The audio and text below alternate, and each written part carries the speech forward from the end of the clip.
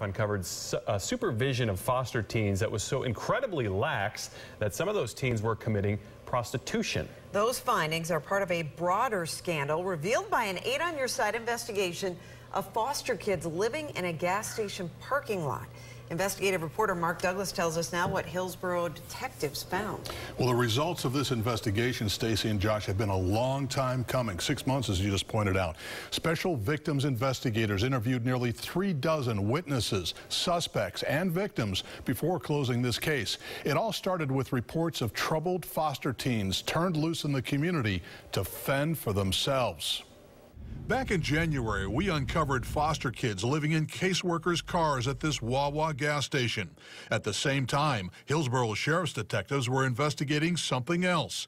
Foster kids dumped in parks, libraries, and public housing projects without supervision, food, water, or money and no steady place to sleep. They were just being, you know, moved to a different place every night. One foster teen told detectives she runs and does whatever she needs to do to get money to buy clothes, food, or whatever her needs, just to survive.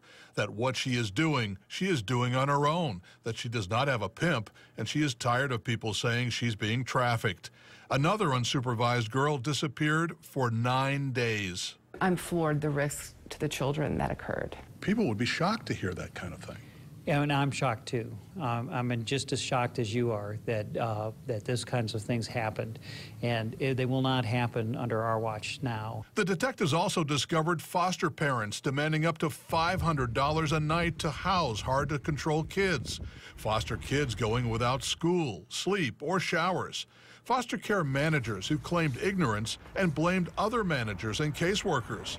Hillsborough State Attorney Andrew Warren reviewed the 158-page investigation, expressed concern, but concluded that nothing criminal happened. From what the investigation revealed, what they were doing, what um, Eckerd and their subsidiaries were doing was not acceptable.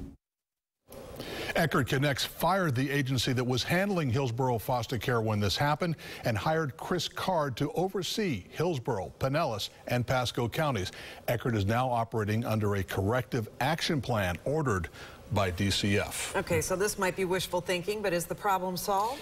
I wish I could say yes. Uh, unfortunately not. Some teens are still on that night-to-night -night placement, and they're still sleeping in offices, a problem that we've been documenting since January. So yeah. they're still working on that part.